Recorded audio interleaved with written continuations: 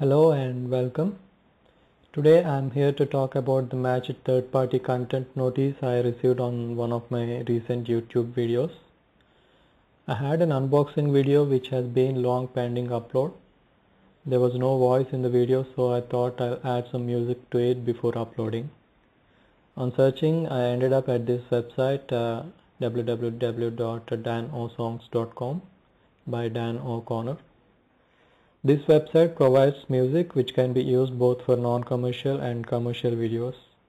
You can either use the music free by crediting appropriately or uh, buy a track and use it uh, if you do not want to credit.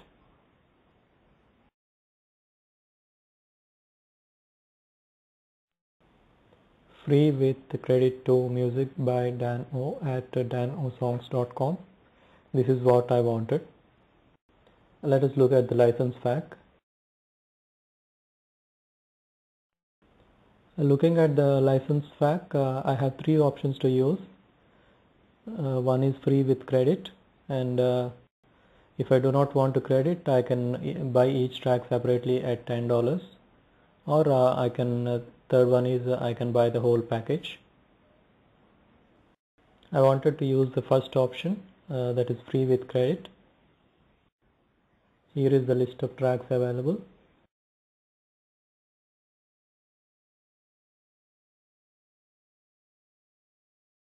I selected Magic Ghost and downloaded it. After working for hours on the video, I finally uploaded the video with uh, due credit and with links to song and the license terms. But to my shock, as soon as the video upload is completed, completed, uh, YouTube displayed the match third-party content notice just beside the video. I'm, I'm yet to publish the video or monetize it.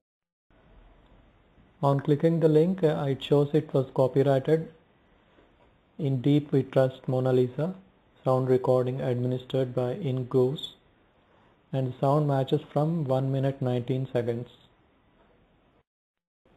It says the video is uh, still available and playable, but I do not want any copyright notices, so I'll either delete it, delete this video or uh, re-upload it with a different track or without any music. Initially I thought of disputing it because the Dano provides this music as royalty free on his website and uh, I don't think he's using someone else's music in his compositions. I, I assumed YouTube system must have misidentified and so I dispute it. On googling for the identified track it brings up a couple of results. Followed the first one in the results which happens to be beatport.com to check if the music I used really matched and yeah it did. In fact uh, it is not just similar it's exactly same to my ears. YouTube identified my video has matched from 1 minute 19 seconds so I checked it from there and it is actually a match. I'm not going to play any music in this video as I do not want to end up with another notice.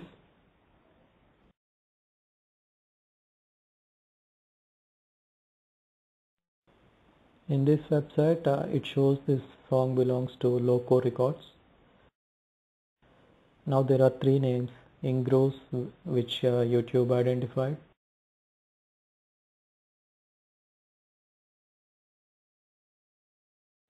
Loco Records as this website uh, displays.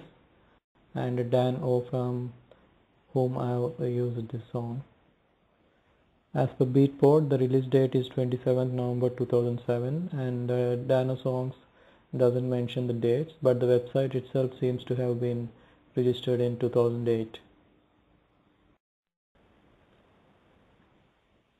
With due respect to everyone involved in their work, I do not know who is the creator and who is the owner or whatever. So I am leaving it here and, and I am not taking it any further from here. Dano Songs provides uh, information in the FAQ on how to prove to YouTube and other sites that I have permission to use this music. But I do not want to spend my precious time in disputing and waiting for responses without knowing the out outcome. So I'll delete this video and uh, re-upload uh, without music. but yeah even if you are using royalty free music in your videos there is no guarantee that you are not violating any copyrights.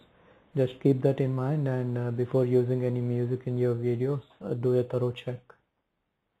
I hope this video helps if you are considering using any royalty free music. Thanks for watching and have a great day. Bye